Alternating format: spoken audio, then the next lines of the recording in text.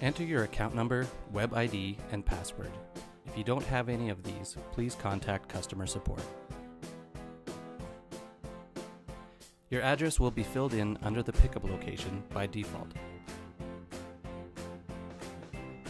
To choose a delivery address, you can pick it from the drop down menu, or enter it manually if it isn't in your address book. Click the arrow to fill in the form. Now choose a service level. And enter how many and what type of pieces you have. You can select the date and time that your delivery will be ready for pickup. The current date and time is the default.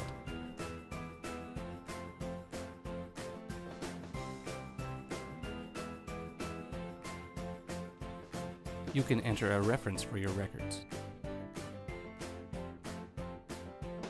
And you can add special instructions.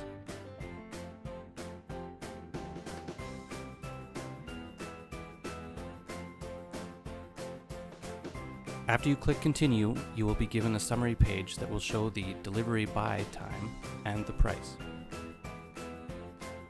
If you are happy with everything, you can click complete to send in your order. If you click previous, you can make changes.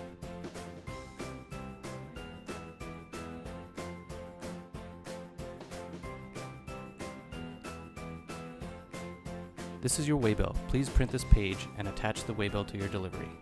Click New Order to enter another delivery.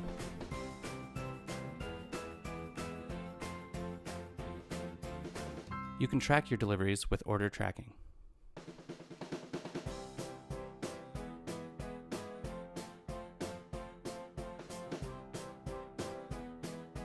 You can search for deliveries by date, order number, reference, company, or any other field.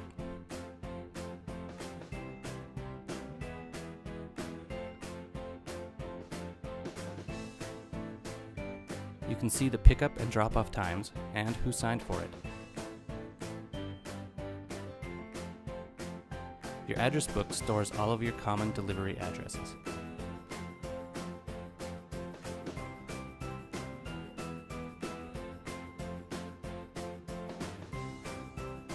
You can edit your address book to update address information.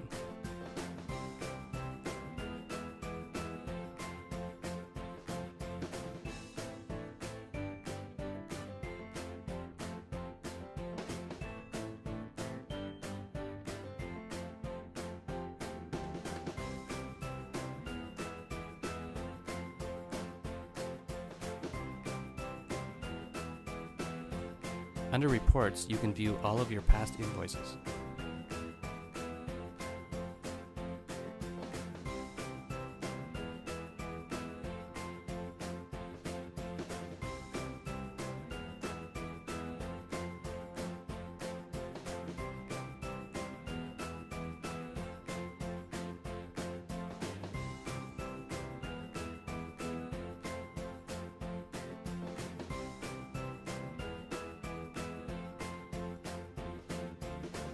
In the admin section, you can change your password, edit user info, and add or delete users.